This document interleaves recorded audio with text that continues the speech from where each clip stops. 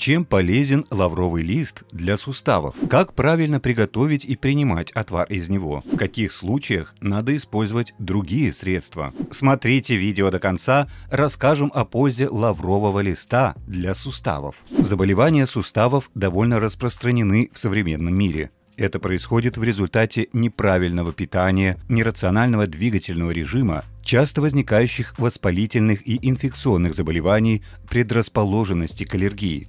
Существует множество медикаментов и народных средств против болезней суставов. Мы хотим познакомить вас с домашним лекарством от боли и воспаления в суставах, сделанным на основе всем знакомого листа лавра. Оно недорогое и эффективное. Чем полезен лавровый лист для суставов?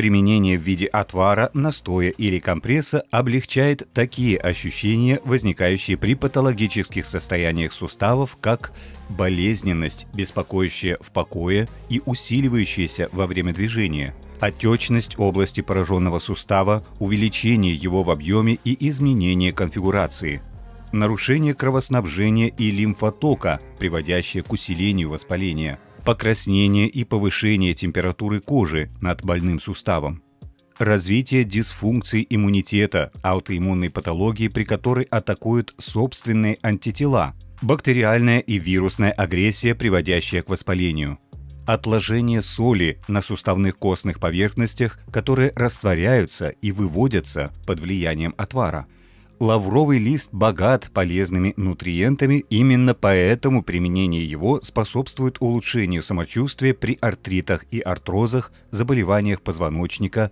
подагре.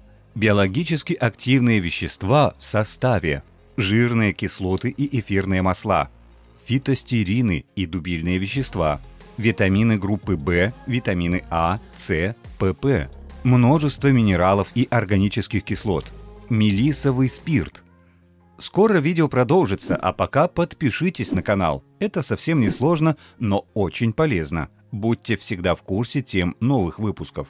Как правильно приготовить и применять отвар из лаврового листа? Лавровые листья можно купить в каждом продуктовом магазине. Если будете лечиться с применением этого средства, то сразу покупайте большие упаковки. Чтобы приготовить отвар, понадобится 25 листочков лавра и 800 мл воды. Залить сырье водой и поставить на огонь. Довести до кипения и проварить в течение 5 минут. Крышку не закрывать. Потом перелить в термос и настаивать 4-5 часов. Перед употреблением процедить. Полученный раствор принимать в течение дня небольшими порциями. Пропить в течение трех дней. Каждый день надо готовить новый отвар – После трех дней применения перерыв 3 недели. Потом все так же повторить. Проводить раз в полгода. Одновременно с использованием отвара можно делать компрессы на больной сустав из настоя. Настой делать просто. Надо залить 10 листьев лавра 600 мл кипятка и настоять 2 часа, предварительно закрыв и укутав. Для компресса надо развести настой водой в пропорции 1 к 1, смочить в нем марлю и наложить на больной сустав. Сверху пленка и теплая материя. По времени держать компресс не более двух часов. Напишите в комментариях, приходилось ли вам пользоваться лавровым листом с лечебной целью. В каких случаях надо использовать другие средства – Поскольку лавровый лист содержит в своем составе много активных ингредиентов, то воздействие его на организм может привести к непредсказуемым последствиям и развитию побочных проявлений. Не стоит применять внутрь лавровый лист при индивидуальной непереносимости и склонности к аллергическим реакциям. На фоне выраженной сердечно-сосудистой патологии, нарушениях свертываемости крови, если имеется почечная или печеночная недостаточность, когда обострились язвенно-воспалительные процессы в желудке или кишечнике, в случае тяжелого течения сахарного диабета, во время всей беременности и периода лактации.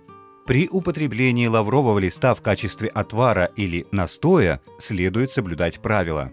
Обязательно следовать рекомендациям и предварительно посоветоваться с терапевтом.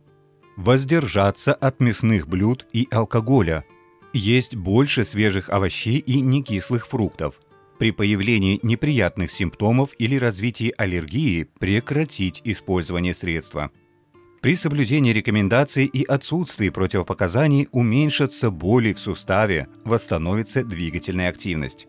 Лавровый лист – сильное и эффективное средство, только обязательно предварительно проконсультируйтесь с врачом.